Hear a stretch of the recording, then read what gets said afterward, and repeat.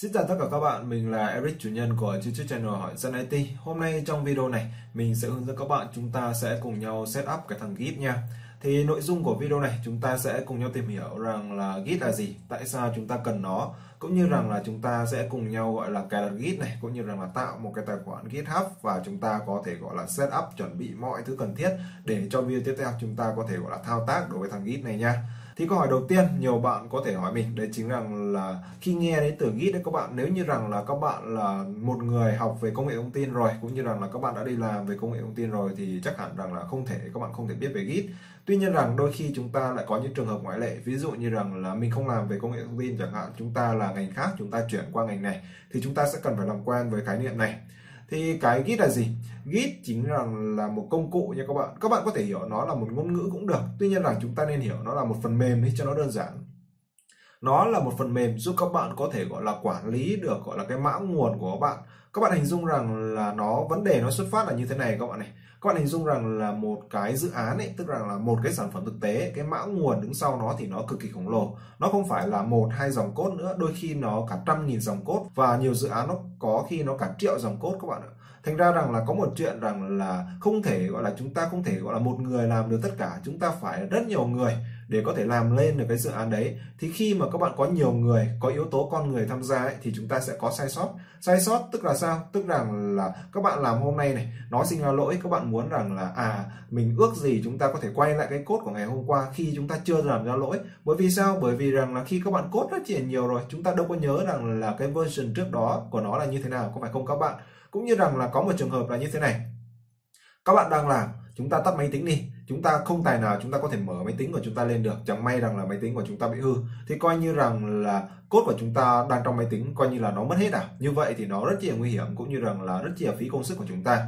Thì thằng Git sinh ra để giải quyết vấn đề này nha các bạn một, nó có thể giúp các bạn làm teamwork tức rằng là chúng ta phối hợp nhiều người làm một lúc cực kỳ dễ dàng nha các bạn. Và cái thứ hai, đấy chính rằng là nó là quản lý version phần mềm của các bạn. Các bạn muốn tiến về tương lai hay rằng là các bạn muốn quay về quá khứ, tất cả những thời điểm nào các bạn cốt thì nó đều có thể giúp đỡ các bạn nha. Các bạn hình dung rằng nó chính là một cái cỗ máy thời gian ấy, nó đi theo suốt cái vòng đời các bạn phát triển sản phẩm, cũng như rằng là nó giúp các bạn quản lý cái mã nguồn của các bạn một cách hiệu quả hơn. Thì đấy gọi là về Git, cũng như rằng là tại sao chúng ta cần thằng Git nha thì có một ờ, một câu chuyện vui là như thế này các bạn này. Các bạn có biết rằng là người à, nếu mà các bạn tìm hiểu về cái lịch sử ra đời của thằng Git ấy các bạn sẽ biết được một điều đấy chính là là cái người mà ở đây sorry các bạn nhé mình sẽ là what is Git nha các bạn what is Git này đây các bạn gõ Google như thế này. Thì cái người mà sáng lập ra thằng Git ấy chính gọi là ông chủ gọi là cha đẻ của cái hệ điều hành Linux đây các bạn. Ờ, uh, Linux chính là cái hệ điều hành mà miễn phí đấy các bạn. Các bạn biết rằng là uh, ngoài Windows này và Mac OS thì chúng ta có một thằng nữa là Linux đây này các bạn này. Các bạn hay biết đến cái tên là Ubuntu ấy. Mình đọc nhiều cái không chuẩn đâu. Nhiều cái này mình không uh, mình chưa tìm hiểu. Đây này. Uh, đây các bạn xuất từ này các bạn nhìn logo đây này. Chính là cái phần mềm mà cái máy tính các bạn có thể nhìn thấy đây này. Thì cha đẻ của cái của cái của cái phần mềm này, của cái hệ điều hành này chính là người sáng lập ra cái Git đấy các bạn. Câu chuyện vui rằng là ông ấy thấy rằng là làm việc nhóm ấy, đặc biệt rằng là khi các bạn phối hợp nhiều người làm đối với phần mềm, phát triển phần mềm của chúng ta cực kỳ khổ. Thì ông ấy nghĩ ra một cách đây chính rằng là chúng ta phải sáng tạo ra một cái gì đấy mà để đơn giản hóa quá trình đi. Thì khi đấy người ta nghĩ ra git nha các bạn. Git là cái chúng ta cần học cũng như rằng là cái giúp các bạn có thể gọi là giúp làm một cỗ máy thời gian, giúp các bạn có thể gọi là quản lý phần mềm của chúng ta cụ thể hơn. Thì đấy gọi là về, sơ qua về lịch sử cũng như rằng là giúp các bạn hình dung được rằng là tại sao chúng ta cần cái thằng này nha. Rồi, thì sau một hồi mà chúng ta đã biết được rằng là lợi ích của nó rồi, thì câu chuyện tiếp theo đấy chính rằng là làm sao chúng ta có thể sử dụng nó có phải không các bạn? Thì ở đây trước tiên thì chúng ta sẽ tiến hành cài đặt Git nha các bạn. Các bạn hình dung rằng là chúng ta sử dụng trên máy tính của chúng ta Git chính là một phần mềm. Tuy nhiên rằng điểm khác biệt đấy chính rằng là thay vì chúng ta ngồi ờ, gọi là chúng ta uh, click bằng tay thì chúng ta sẽ cần phải gõ câu lệnh nha các bạn. Các bạn hình dung rằng là để thao tác đối với thằng Git ấy giống như rằng là chúng ta đang học ngôn ngữ lập trình thôi nó có một vài câu lệnh chúng ta phải quen để chúng ta gõ vào cái phần mềm này. Nó chạy như vậy là ok rồi.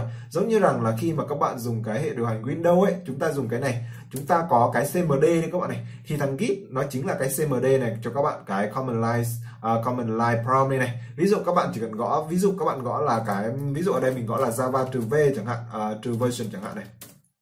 Thì thằng git chính là như thế này các bạn. Tức rằng là các bạn chỉ cần học một vài câu lệnh của nó các bạn gõ vào cái phần mềm git thì nó sẽ giúp các bạn hoàn thiện cái điều các bạn mong muốn. Thì đấy gọi là về thằng git thì bây giờ công việc tiếp theo của chúng ta đấy chính là là chúng ta sẽ cài là thằng git nha. Ở đây thì để cho gọi là hướng dẫn các bạn chúng ta là người mới bắt đầu ấy, thì mình sẽ tiến hành tháo cái git tại máy tính của mình nha các bạn để cho gọi là mình và các bạn giống hệt nhau nha. Thì các bạn sẽ chờ mình xíu để mình à, đi à, gọi là mình sẽ tháo cái git của mình ra. À, ở đây thì mình sẽ mở thằng control panel. Lý do mình tháo thằng git của mình ra ấy, bởi vì rằng là có một vài cái mình setup cho thằng git của mình rồi. Khi mà các bạn gọi là chúng ta tháo thằng git rồi các bạn các bạn thấy rằng là bình thường chúng ta nhấn phải chuột đây này nó không hề có option, gọi là git patch here hay là có một cái gì git cả. Thì bây giờ mình sẽ hướng dẫn các bạn, chúng ta sẽ cài đặt thằng git nha. Rồi, thì đây chính là, gọi là, mình đã tháo rồi nha các bạn. Thì bây giờ chúng ta sẽ quay lại đối với cái, gọi là, Google Chrome và các bạn sẽ gõ cho mình là download git thôi các bạn nha. Download git này, nó cực kỳ dễ thôi mà. Rồi, đây các bạn này, nó có một cái trang này chính là, gọi là git scm các bạn. Các bạn sẽ vào đây nha thì tùy thuộc vào hệ điều hành của các bạn sử dụng các bạn có thể gọi là download cho Mac OS hay là Windows hay Linux thì các bạn sẽ download cho cái hệ điều hành của các bạn. Ở đây thì mình sẽ nhấn vào đây như các bạn. Các bạn có thể nhấn vào đây hoặc rằng là mình sẽ download cho Windows như các bạn. Version nào cũng được thôi. Các bạn yên tâm một điều đấy chính là là đối với thằng Git ấy, ở đây thì mình sẽ chọn 64 bit cho cái Windows của mình. Đây thì uh, các bạn yên tâm một điều đấy chính rằng là đối với thằng Git thì version mới hay cũ nó không là vấn đề đâu các bạn. Bởi vì sao? Bởi vì rằng là nó là giúp các bạn quản lý phần mềm thôi. Còn nó nâng cấp version thì chúng ta không hề bị ảnh hưởng đâu các bạn. Thì đấy chính là cái điểm hay của nó nha.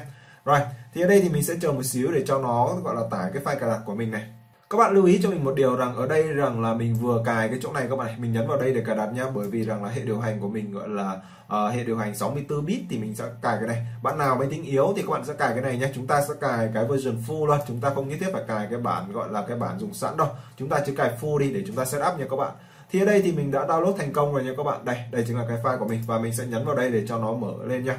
Chúng ta chỉ cài đặt nó thôi cũng không có gì phức tạp đâu các bạn. Bởi vì rằng là bản chất của nó thì các bạn chỉ nhấn next next thôi mà. Nó cực kỳ dễ đối với thằng git này. Thì à, các bạn thấy rằng ở đây mình sẽ cần phải confirm cho nó chạy cái phần mềm của mình. Đây các bạn sẽ thấy rằng là nó sẽ lên được một cái giao diện như thế này.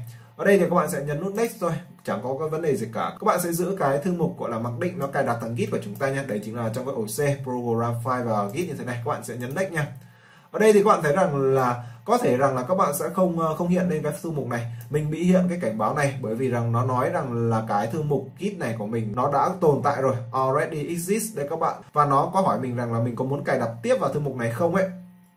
Thì như thế này nhá, để cho gọi là nếu mà các bạn hiện lên cái lỗi này thì các bạn chỉ nhấn yes cũng được. Còn không ấy, nếu mà các bạn không muốn nhấn yes ấy, như mình chẳng hạn này, mình sẽ vào cái program như các bạn.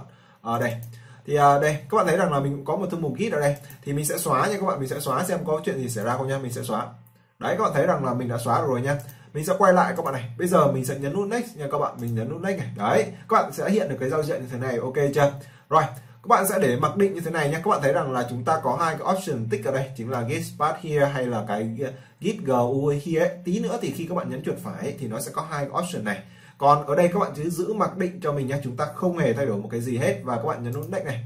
Tiếp theo nữa rằng là chúng ta chấn next thôi, cái này easy mà các bạn các bạn chấn next hết cho mình thôi next next. Chúng ta next rồi mà. Next tiếp nào. Next next tiếp next tiếp next tiếp. Và các bạn sẽ next và next install cuối cùng nha các bạn. Nó cực kỳ đơn giản thôi, chúng ta chỉ next next chúng ta để mặc định nha các bạn. Bởi vì sao? Bởi vì rằng là những cái mà nó cung cấp mặc định đã đủ cho chúng ta dùng rồi nha các bạn. Đây chính là lý do tại sao chúng ta next và chúng ta finish thì sau khi mà các bạn nhấn nút install thì chúng ta sẽ chờ nhé, các bạn các bạn sẽ chờ một xíu để, gọi là, chúng ta, gọi là, tận hưởng thành quả thôi. Nó cài cực kỳ nhanh thôi. Các bạn lưu ý cho mình một điều đây, cái, gọi là, cái logo bên ờ, bên mình đang ờ, highlight ở đây đây chính, gọi là, cái logo của thằng git nha các bạn. Thì đây chính là một cái thương hiệu giúp các bạn nhận diện nó thôi. Thì trong lúc nó cài đặt đấy các bạn sẽ cần phải quan tâm đến một cái yếu tố nữa. Đây chính là là việc mà các bạn có thể gọi là thằng git là một công cụ giúp các bạn có thể quản lý được mã nguồn. Tuy nhiên rằng là chúng ta cũng cần một cái đấy chính là là chúng ta sẽ cần phải có một nơi lưu trữ cốt của chúng ta đúng không các bạn?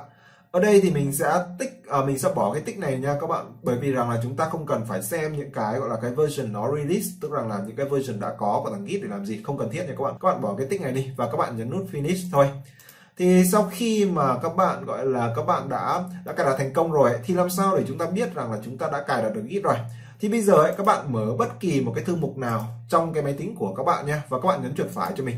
Các bạn sẽ thấy rằng là ngay lập tức chúng ta sẽ có hai cái option là git path here và một cái là git cái GUI đây các bạn này. Tức rằng cái giao diện của thằng git đấy các bạn sẽ có hai cái option này nha bạn nào mà đã cài đặt thành công git rồi mà các bạn không có hai cái option này thì các bạn có thể inbox cho mình. Mình sẽ hướng dẫn các bạn để chúng ta tạo được hai cái option này nha. Còn ở đây thì chúng ta, gọi là, sau khi mà các bạn thấy rằng là chúng ta cài đặt thành công, chúng ta đã mặc định có rồi nha. Rồi, đây chính là cái vấn đề đầu tiên. Quay lại câu chuyện lúc nãy mà mình vừa chia sẻ với các bạn ấy, tức rằng là git là công cụ giúp chúng ta có thể quản lý được mã nguồn, thì nó sẽ cần có một cái, gọi là, nơi lưu trữ cái mã nguồn của chúng ta thì ở ngoài kia đây các bạn chúng ta có rất nhiều những cái website có thể giúp các bạn lưu trữ mã nguồn một cách bảo mật và nó hoàn toàn miễn phí nha các bạn. Có thể kể đến nổi tiếng nhất như là thằng GitHub chính là thằng đi đầu các bạn này. Sau đấy thì sau sau này các bạn đi làm ấy, thì có thể rằng là các bạn sẽ gọi là dùng GitLab hoặc rằng là đôi khi các bạn sẽ dùng cái thằng à, cái thằng uh, thằng Bitbucket đây các bạn này. Có thể các bạn dùng thằng này này đây này. Cái thằng này đây bit bucket đây các bạn này. Hoặc rằng là các bạn sẽ dùng những cái host của công ty của các bạn. Tuy nhiên rằng là cách sử dụng của nó hoàn toàn giống nhau nha các bạn. Nó đều sử dụng công cụ Git cả nó chỉ là nơi, gọi là nơi lưu trữ mã nguồn của các bạn thôi. Giống như rằng là chuyện các bạn sử dụng thằng à, Facebook hay gọi là thằng Twitter ấy, bản chất rằng là chúng ta đều chat đúng không các bạn? Đều chat với bạn bè của chúng ta. Tuy nhiên rằng là chúng ta truy cập vào hai địa chỉ khác nhau thôi. Một là facebook.com hay là twitter.com nó chỉ khác nhau như vậy thôi. Ở đây thì mình sẽ hướng dẫn các bạn dùng GitHub nha. Một cái công cụ hoàn toàn miễn phí và nó cực kỳ phổ biến. Còn sau này thì các bạn đi làm thì có thể rằng là công ty các bạn dùng GitHub này, có thể rằng là nó dùng GitLab hay rằng là nó dùng Bitbucket thì nó giống hệt nhau nha các bạn. Các bạn yên tâm điều điều này cho mình nha. Rồi đấy chính là bước đầu tiên chúng ta đã gọi là uh, chúng ta đã tìm hiểu rằng là thằng git là gì tại sao chúng ta dùng nó cũng như rằng là chúng ta đã cài đặt thằng git rồi nha các bạn. Thì cái bước thứ ba chúng ta cần làm đây chính rằng là chúng ta sẽ cần phải tạo một cái tài khoản github. Thì ở đây thì đây chính gọi là cái trang github này các bạn sẽ gõ cho mình là github.com nha các bạn thì ở đây thì mình sẽ không phải gọi là mình sẽ không thể gọi là hướng dẫn các bạn gọi là um, từ A đến Z về cái phần tạo tài khoản này. Bởi vì sao? Bởi mình đã có rồi. Còn các bạn chưa có thì các bạn có thể nhấn vào cái nút gọi là sign up for GitHub hoặc rằng là các bạn nhấn vào cái nút sign up ở trên cùng này nha. Chúng ta sẽ cần phải đăng ký một tài khoản này. Thì khi đăng ký một tài khoản ấy các bạn lưu ý cho mình rằng là chúng ta sẽ cần phải à, dùng địa chỉ email nha các bạn. Chúng ta sẽ dùng một cái địa chỉ email. Thì à, ở đây thì à, ví dụ mình sẽ gõ một cái địa chỉ email gọi là mình đã dùng rồi nha các bạn à, như thế này mình sửa gõ fake một cái là my email này. My email à, à, my email đã có người dùng rồi đấy các bạn. À, hỏi dân it gmail.com đấy như thế này đây là một cái địa chỉ email fake nha các bạn. Các bạn thì sẽ nhập cái địa chỉ của các bạn vào. Sau đấy thì các bạn sẽ nhấn nút là continue chúng ta sẽ tiếp tục các bạn này. Đấy.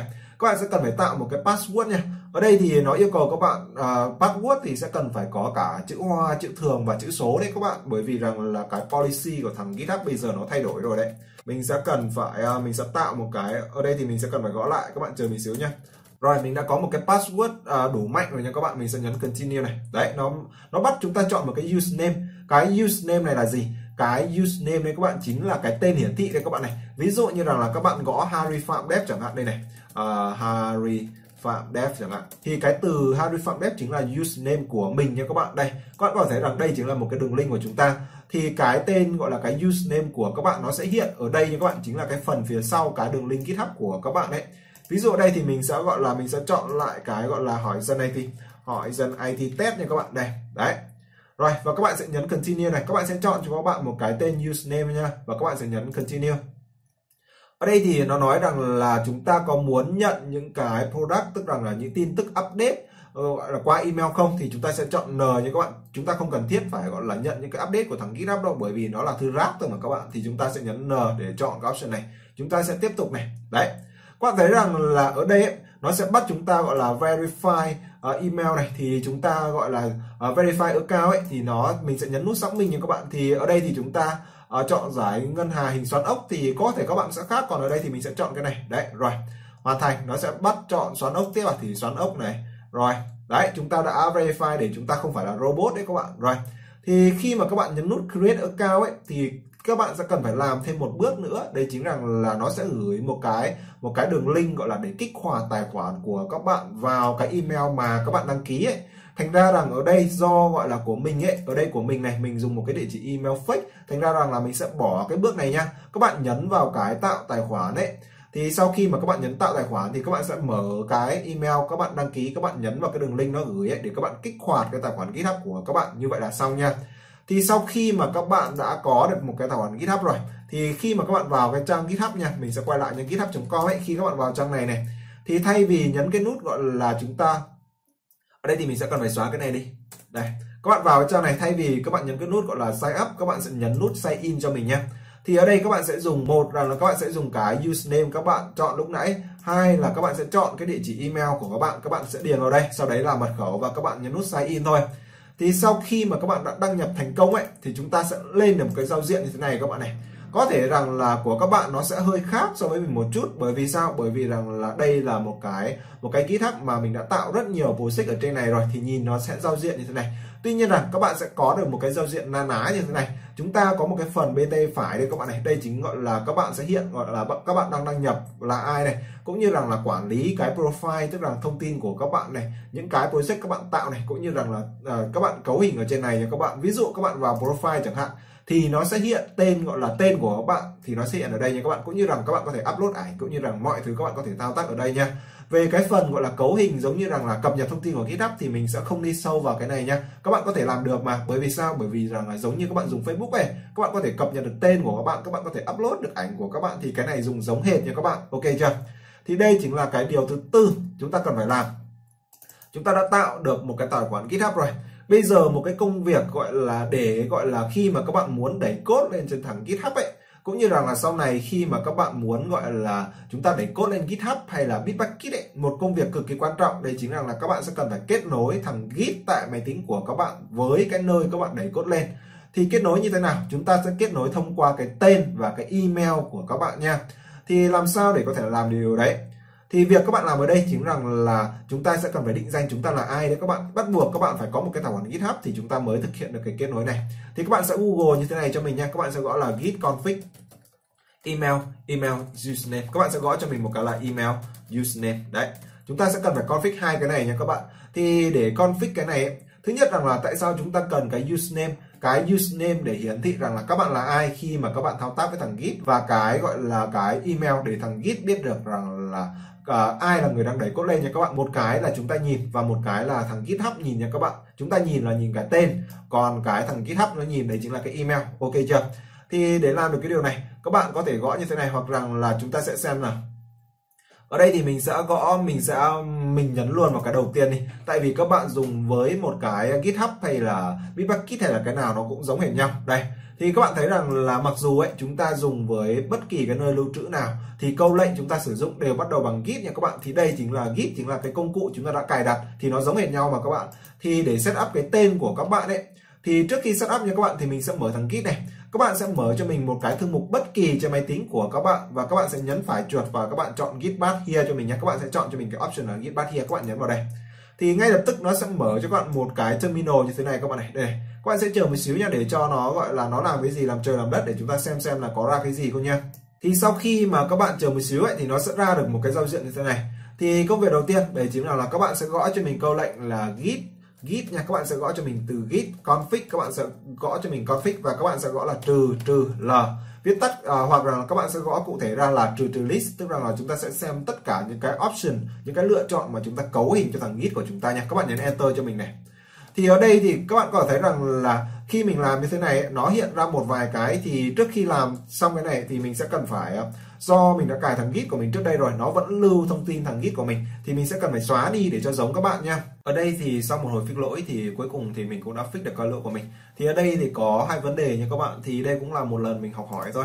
Thì à, các bạn hình dung rằng là khi chúng ta cấu hình thằng git ấy, thì nó sẽ có hai loại cấu hình một là cái the system tức rằng là những cái cấu hình mà khi các bạn cài đặt thằng git ấy thì nó đã cài đặt cho các bạn rồi. Cái thứ hai đấy chính gọi là cái global. Global tức rằng là những cái cấu hình mà các bạn cài đặt cho thằng git ấy thì lúc nãy thì cách mình fix đấy chính rằng là mình xóa cái file này đi các bạn này. Tức rằng là mình có một cái file khi mà các bạn à, các bạn cài đặt đấy thì nó có một cái file này chính là git uh, git config. Thì bây giờ thì thì các bạn sẽ cần phải đi sửa cái file này nhé dĩ nhiên rằng là chúng ta không đi sửa bằng tay đâu các bạn mà chúng ta sẽ dùng câu lệnh để sửa cái file này thì khi mà các bạn gõ câu lệnh là git config delete ấy, thì nó sẽ hiển thị như thế này. Nó sẽ ra được một cái giao diện na ná như thế này nha các bạn. Tuy nhiên rằng có một điều quan trọng đây chính là là các bạn sẽ không thấy rằng là chúng ta config thứ nhất là username và thứ hai là cái email của chúng ta nha các bạn. Thì bây giờ chúng ta sẽ đi làm cái điều đấy nha. Thì điều đầu tiên thì mình sẽ quay lại đối với cái của chúng ta. Thì ở đây thì mình sẽ search lại câu lệnh vừa nãy nha các bạn. Các bạn sẽ search cho mình là git config uh, email và username nha. Chúng ta sẽ search lại cái này nha thì à, mình sẽ click vào cái đây này. Các bạn có thể gõ ở đây hoặc rằng là các bạn vào cái nào cũng được. Mình sẽ vào cái trang này đi. Thì à, mình sẽ để cái gọi là dĩ nhiên rằng là chúng ta chỉ là câu lệnh thôi. Các bạn các bạn có thể nhìn theo mình luôn. Chúng ta không phải search đâu.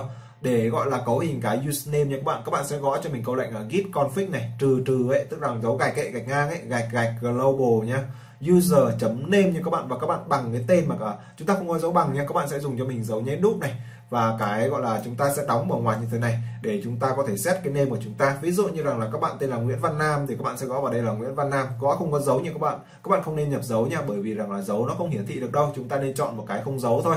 Rồi, thì ở đây thì mình sẽ thực hành nha. Ví dụ như rằng là ở đây mình sẽ gõ một cái là git config này. Mình sẽ là trừ trừ nha các bạn, global global. Các bạn sẽ gõ cho mình là user chấm name các bạn lưu ý rằng là chúng ta không có dấu bằng nhé các bạn sẽ cách ra các bạn sẽ ở đây. Ví dụ như ở đây thì mình sẽ đặt là hỏi dân IT với Eric nha các bạn. À, hỏi dân IT with Eric nha các bạn. Này mình sẽ đặt tên của mình là hỏi dân IT with Eric. Đây chính là cái của mình. Mình nhấn enter nha các bạn. Cái thứ hai đấy chính là là chúng ta sẽ cần phải có hình email của chúng ta nha các bạn. Thì các bạn sẽ gõ như thế này. Mình sẽ gõ là git config này. Trừ trừ global. Và các bạn sẽ cho mình một cái là user email nha các bạn rồi ở đây thì các bạn sẽ nhập vào cái gọi là cái email mà các bạn đăng ký với thằng git uh, thằng uh, github ấy. Thì ở đây thì mình sẽ nhập vào cái email của mình nha đây chính là harryfarmdev gmail.com này. Thì đây chính là cái email của mình. Thì mình sẽ enter các bạn này. Rồi thì sau khi mà các bạn đã làm được như thế này các bạn sẽ dùng cái mũi tên lên hoặc xuống nhé trên máy tính của các bạn ấy thì nó sẽ chạy lại câu lệnh mà các bạn vừa gõ ấy thì mình sẽ chạy lại câu lệnh là git config trừ trừ list và mình nhấn enter các bạn này lần này thì các bạn thấy rằng là chúng ta vừa thêm được hai cái tham số ở cuối cùng ấy user.name và user.email các bạn hiện lên được hai cái tham số như thế này là chúng ta thành công rồi nha các bạn ở đây thì trong video này, các bạn chỉ cần gọi là chúng ta cài đặt được thằng Git cũng như rằng là các bạn set up được cái username và cái email là chúng ta thành công rồi. Thì trong video tiếp theo, mình sẽ hướng dẫn các bạn chúng ta sẽ cùng nhau gọi là tạo một cái project và chúng ta sẽ gọi là chúng ta sẽ đẩy nó lên GitHub cũng như là giúp các bạn có thể kéo một cái project từ trên GitHub về nha.